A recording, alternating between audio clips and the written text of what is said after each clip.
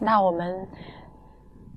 初次跟家庭见面，基于婚姻关系影响亲子关系，我们就要考察两个人的婚姻。我们考察什么呢？我们考察那他们是什么样的人？他们两个分别是什么样的人？他们在什么样的家庭长大的？因为我们每个人的今天哈呈现的都是我们过往学习的结果。我们从哪儿学呢？我们就从我们自己成长的家庭里学来的。所以，我们那他们在他们各自家庭里成长，来自两个不同家庭的独立的个体，他们共同创造属于他们的一个新的家庭。所以我们有这样的一个背景。初见家庭的时候，为什么会选择了彼此？你会选择你的另外一半儿，一定是有一些希望的哈。你觉得啊，有了他，我的生活会怎么怎么怎么样？而那些也提供了线索，让今天这个关系里面有那么多的失望，就是那儿来的。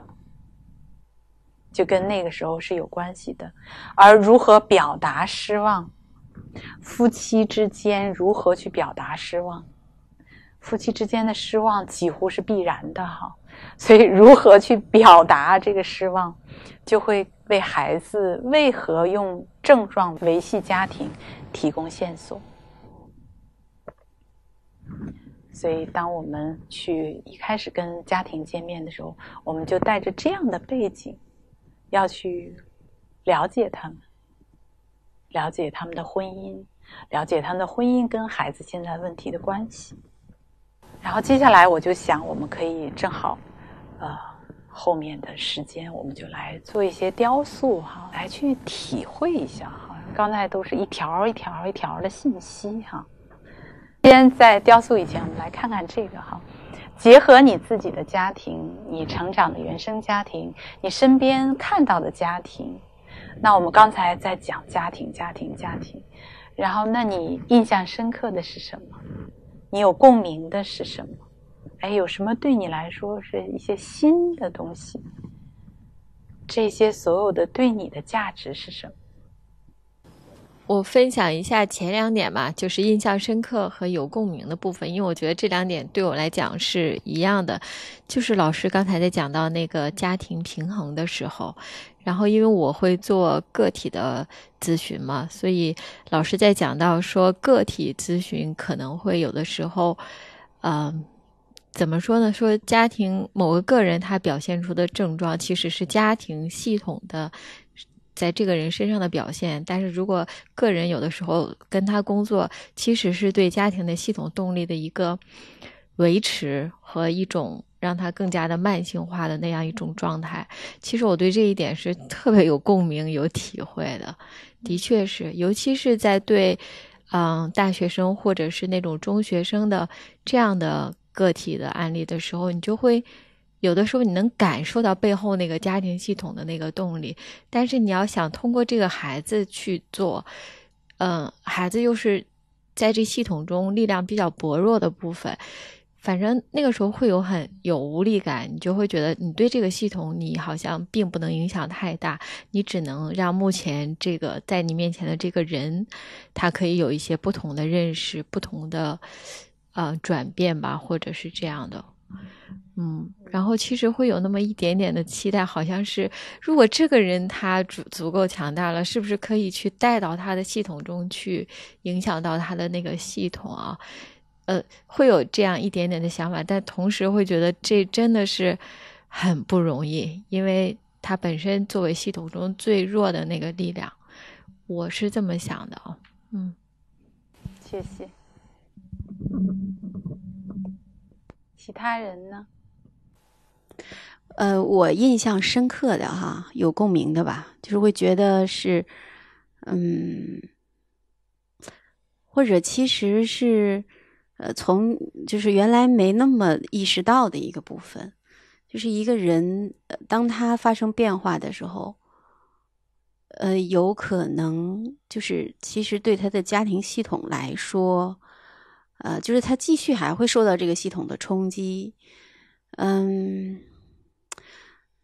就这个其实好像过去嗯不是这么想的，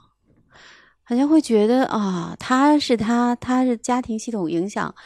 就是他的影响，然后这个人呢是有和足够的力量可以管理那个影响，就是挺理想化的。现在看，呃，当这么拿到一个系统中，就是真实的这样去说的时候。嗯，那真的就是会存在一个人那，他在比如说他可能确实比较弱，然后又在工作的时候，嗯，就是跟咨询师之间的这个这种比较相对比较优一些的这种互动模式，再到他的系统当中，回到现实的生活系统当中来，那个真实的应用能有到多少程度的落地？我觉得这个是是我印象特别深的，啊，也会觉得就是这个，嗯，就这个课程还挺期待的，嗯嗯，其实给我最印象最深刻的，我觉得还是家庭平衡这样一个这样一个概念吧。然后，呃，首先是家庭的这样的一个就是力量，无疑是强大的。然后它。就是家庭有一种自带的一种惯性，去维持家庭这个平衡，呃，但是这个时候也就意味着，如果作为一个个体，他要想改变这个平衡，其实他要付出特别多的努力。就是有的时候我们确实觉得改变自己是容易的，但是你要想把这个环境去改变了，是非常难的。嗯，但是从另外一方面，有一个理论叫做混沌理论，就是说，在一个系统中，一个微小的改变。呃，最终会引起这个系统整体的改变。所以说，从这一点来看的话，我觉得一个个体去改变整个家庭的这样一个平衡，嗯，也是有希望的，是可以的。嗯，虽然要付出很多的努力。嗯，安心，你说的这个就让我想起有一回在国外参加一个萨提尔大会，他是呃做家庭治疗的一个研究者，他就在给我们呈现一个研究报告。就是讲这个代际的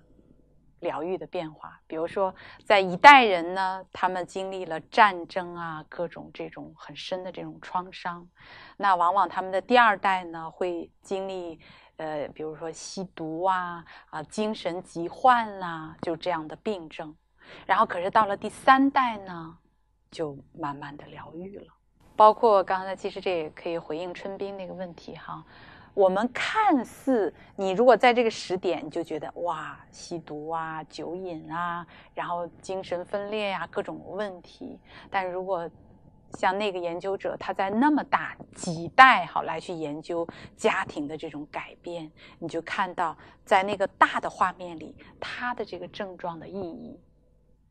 他恰恰可能是在做着一些改变。那个创伤的那个部分，只不过在这个时点上，如果我们说时间是个幻象的话，有时候我们觉得哇，几年好长啊。但是你一晃，你过了好多年，你觉得啊，其实很多年也很短的。就像比如说我的孩子很大了，我就觉得哎呀，你们珍惜吧。那些孩子小的时候是很短，你们觉得天哪，那太长了。所以时间体验是不一样的。有的人可能你觉得